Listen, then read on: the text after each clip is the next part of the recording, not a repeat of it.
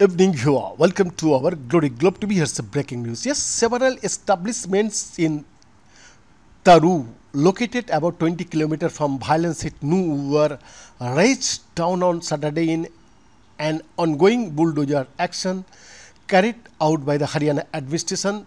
Officials confirmed that the residents of these establishments were involved in the July 31st riots in the area.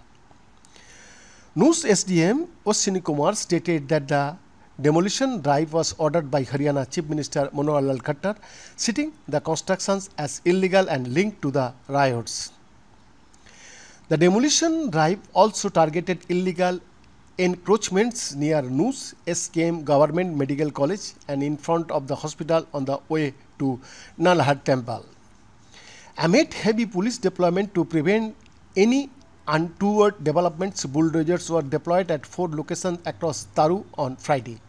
Around 40 illegal shops are being demolished in the area, which also witnessed vehicle burnings and stone pelting during the communal tensions on July 31st.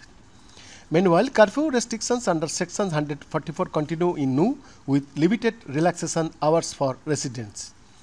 Regarding the Nuh riots, Haryana Home Minister Anil Vij revealed that 202 people have been arrested and 80 taken into preventive detention. He emphasized that those involved in the violence will not be spared and the detents are currently being questioned. Six people, including two home guards and a cleric, died in the clashes that erupted in Muslim dominated Nuh when a Vishwa Hindu Parishad procession was attacked by mobs on Monday. Vij asserted that the violence in Nuh was pre-planned, as evidenced by bullets being fired from hillocks and stones collected on rooftops of the building. The police are actively investigating the clashes and have called for journalists who covered the events to provide videos and feeds to assist in the probe.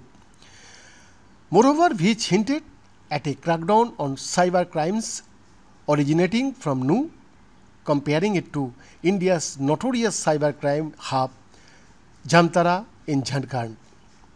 By the the report, Glory Globe TV Delhi, India.